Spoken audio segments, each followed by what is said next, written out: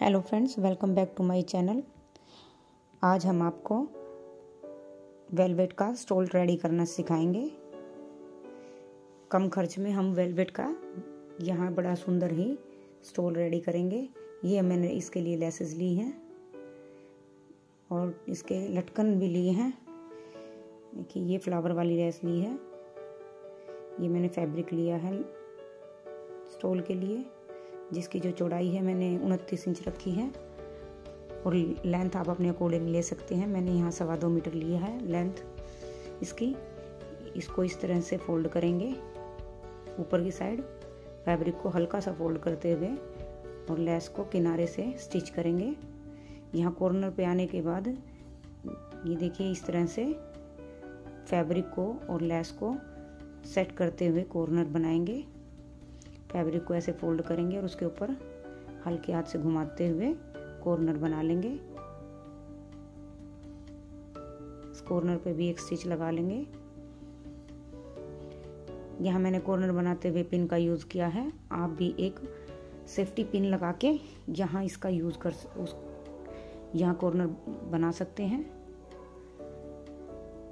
देखिए मैंने यहाँ इसको फोल्ड करते हुए और लेस को अटैच कर दूँगी। अब हम यहाँ देखिए, ये हमारी बड़ी फिनिशिंग से जो है लेस लगती जा रही है। यहाँ मैं दूसरा स्टिच लगाने जा रही हूँ लेस के ऊपर। इससे लेस अच्छे से बैठ जाएगी। अगर आपको मेरा मेरा वीडियो पसंद आए तो लाइक और शेयर, सब्सक्राइब ज़रूर करें। ये देखिए, यहाँ मैंने इसको लेस को रेडी कर लिया है। अब हम इसको, इस पर ही जो हमने फ्लावर लेस ली थी, इसको कट करके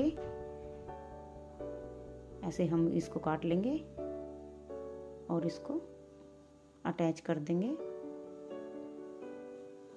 बीच बीच में इसके फ्लावरों को अटैच करेंगे। ये देखिए, मैंने ग्लू की हेल्प से इसको अटैच किया है। आप इसको एक बार ग्लू से लगा के और इसको फिर मशीन से भी स्टिच कर सकते हैं। फिर ये अच्छे से फिक्स हो जाते हैं, निकलते नहीं हैं।